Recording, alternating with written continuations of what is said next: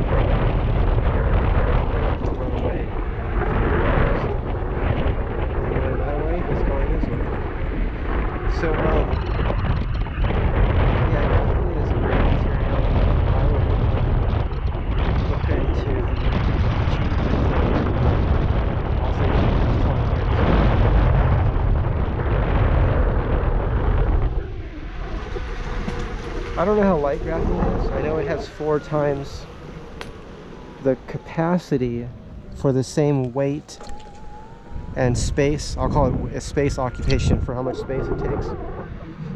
So in other words, this electric unicycle could have four times the range. So instead of like 50 miles, it could have 200 miles for the same weight of batteries. Or another way of thinking about it is we could have one quarter of the weight of batteries and have the same range. So that would significantly reduce the weight.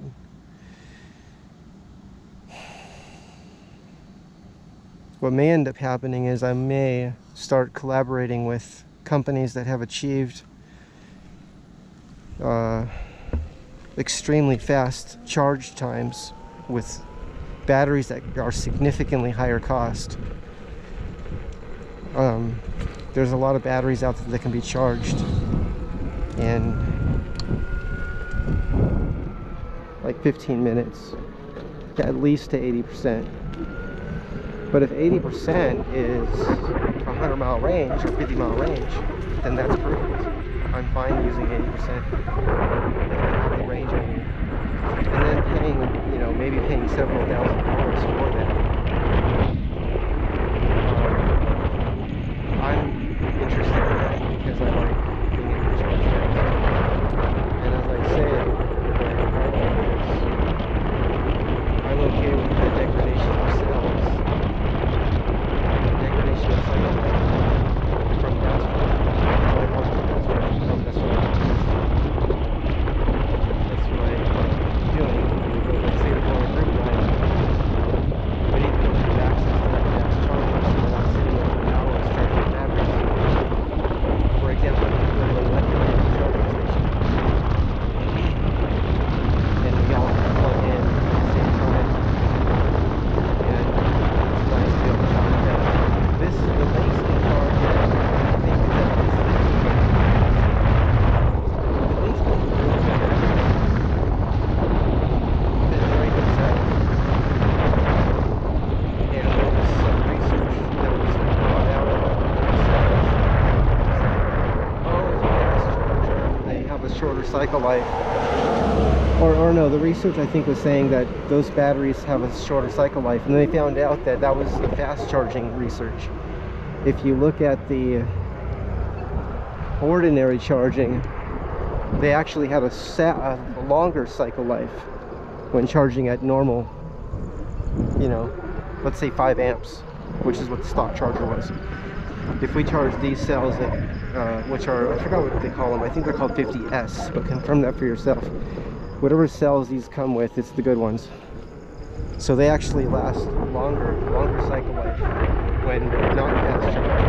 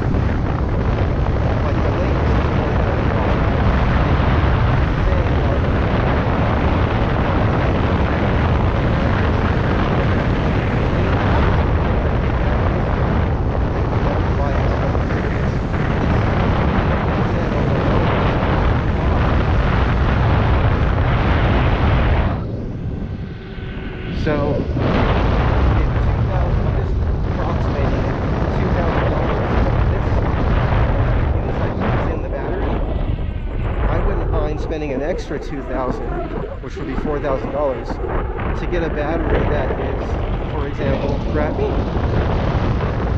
So all those articles that say, oh, graphene's not yet ready yet, not yet, well, all the motors did it themselves. They, they found a way to make graphene. And I think the battery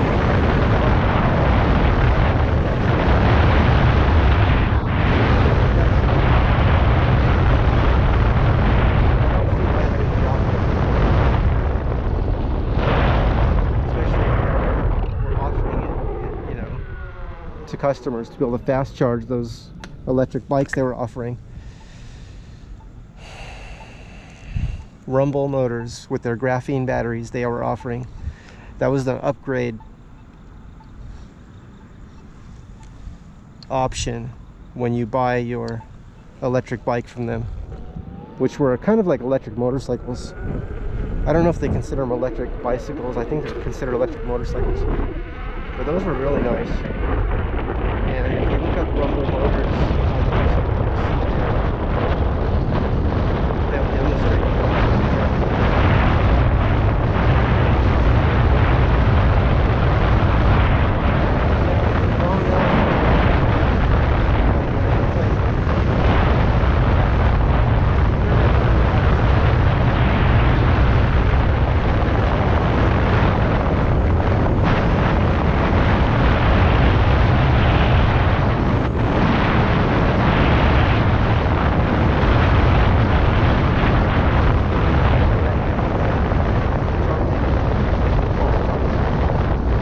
There's all kinds of charges that, that you can get.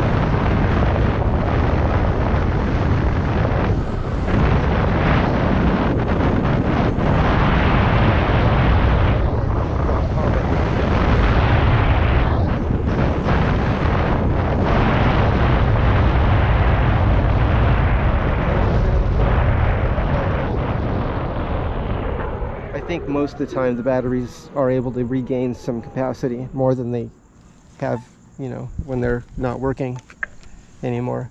But some batteries are beyond repair. And that does happen. Those chargers are not recommended for lithium because uh,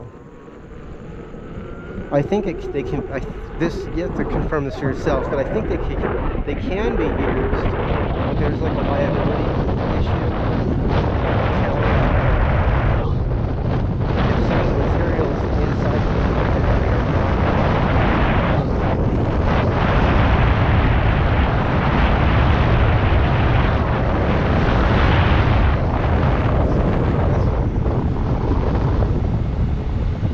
But please do confirm that for yourself.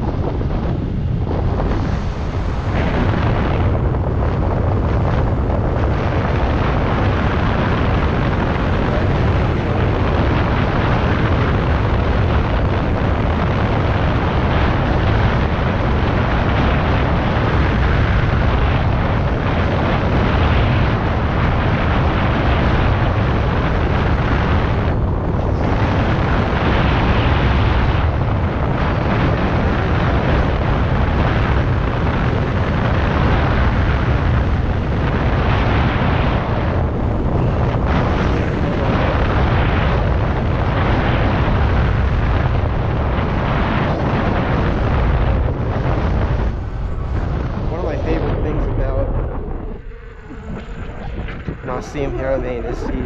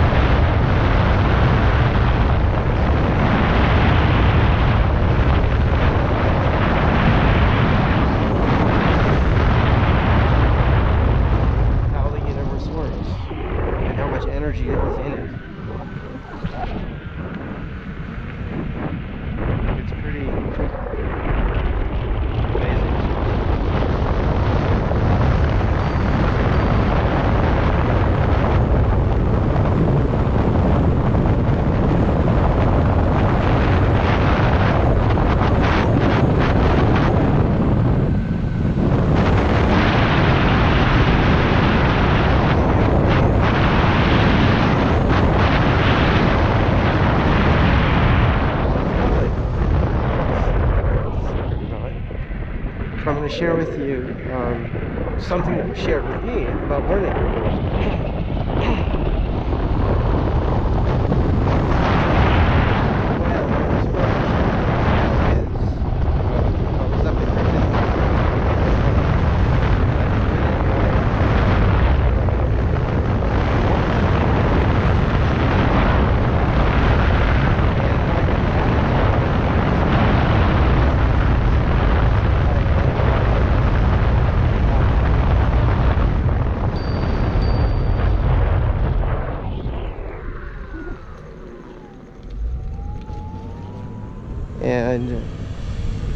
Those tiny LEDs I had the 6500 Kelvin color temperature which is a white light.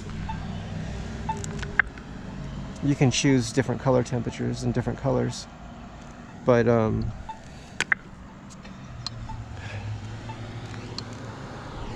I had wrapped those lights those bright white LEDs around the uh, like I, I, I lined the the like the bottom side. So like underneath the, know underneath the scooter on the side. Yeah. Oh there's videos of that. If you look back I don't know if it's been a year or you can see those LEDs and I was riding that and someone saw that and loved this.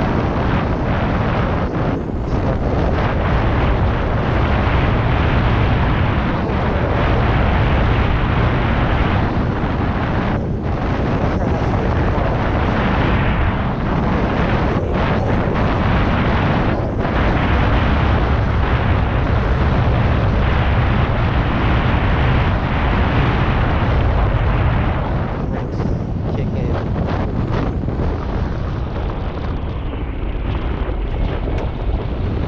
and slow down when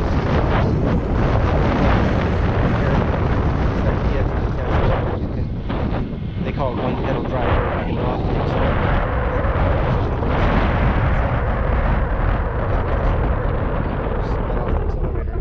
down by, you know, because the brakes, it's set up that way. You can, you can, uh, you can uh, program it that way or set the, uh, get it to set and I like how it adds a little bit of energy back to the to the battery. Some people don't like it. percent back. Others say five percent, ten percent. But to me, it's not a loss. I'm gaining some energy back, and I like that. But I'm 100% saving my brakes, and that's that's significant. Imagine reducing brake maintenance and it really surprised me how so many people were fixated that 1% energy recovery and not mentioning the fact that they don't have to buy brake pads, in, brake pads anymore or 99% less often you know so instead of changing your brake pads once every couple of weeks which many people are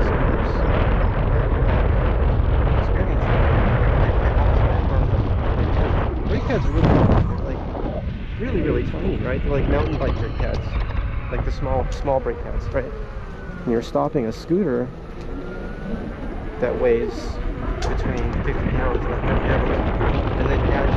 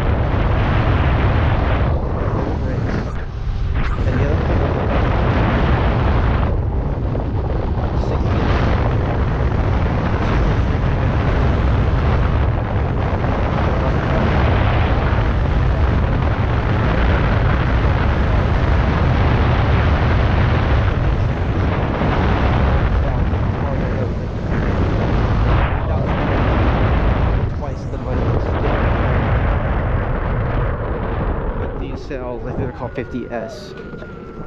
Right. I, think it's a 450S. They're really, really good. For the price.